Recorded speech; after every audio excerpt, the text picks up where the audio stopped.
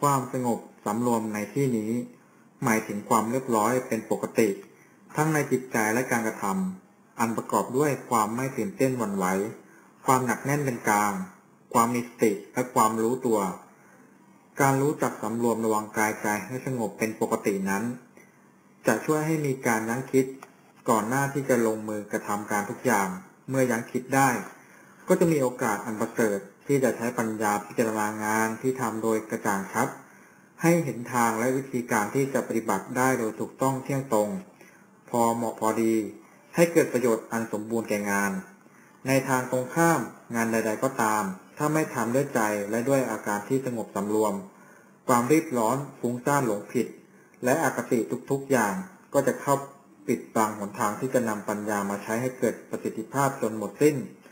และเมื่อนำปัญญามาใช้ไม่ได้ ก็ยากที่จะทำงานให้ถูกต้องได้ ความผิดพลาดและความเสียหายนานาประการ